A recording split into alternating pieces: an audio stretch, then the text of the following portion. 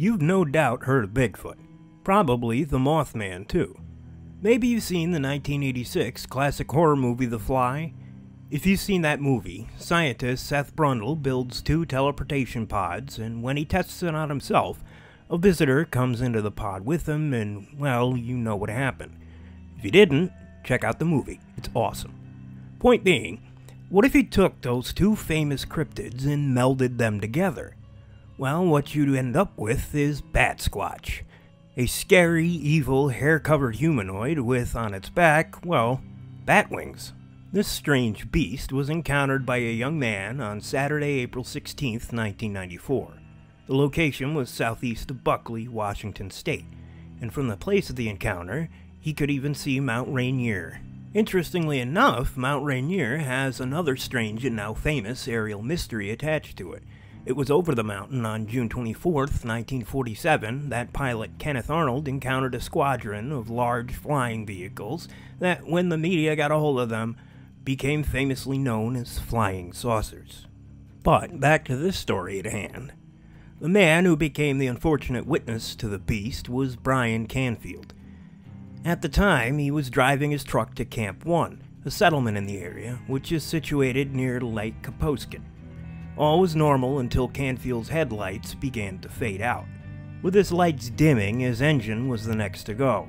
His vehicle ended up slowly coasting to a stop at the side of the road.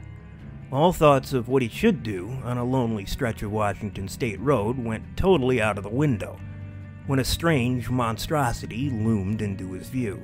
Canfield could only look out his window, frozen in fear, as a large, dark colored humanoid descended from the sky. It did so in a curious semi gliding, semi flying fashion, finally coming to rest right in front of his vehicle. Canfield was unable to move, such he was that scared. All he could do was grip the steering wheel and stare in terror at the beast before him. It was a scary sight, to say the least. The winged, hair covered monster was around nine feet in height, as Canfield could now see that the wings spanned the entire road. It was at this point, despite his terror, that Canfield finally got a good look at the creature. Its fur was dark blue, its eyes shone yellow, and its white fangs protruded menacingly from its werewolf like face. For at least a couple of minutes, both man and monster confronted each other, nearly making any kind of move. That is, until the creature, without warning, flapped its wings powerfully and violently, and took to the skies again. Maybe the creature even had some form of supernatural powers, because when the beast vanished, Canfield's vehicle returned to normal, and both its headlights and engine worked perfectly without a hitch. Canfield raced back to the home he shared with his parents, charged into the house, and told his strange story of what happened. Canfield's father, seeing the terror on his face, realized that it wasn't a prank, he decided that the best thing that they could do would be to get back out there and try to figure things out.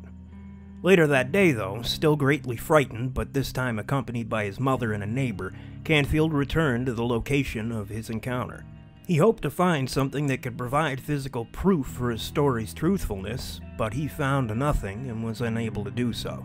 Notwithstanding this, his reputation for honesty and his good standing in the community were such that no one acquainted with him had any doubt that he was telling the truth.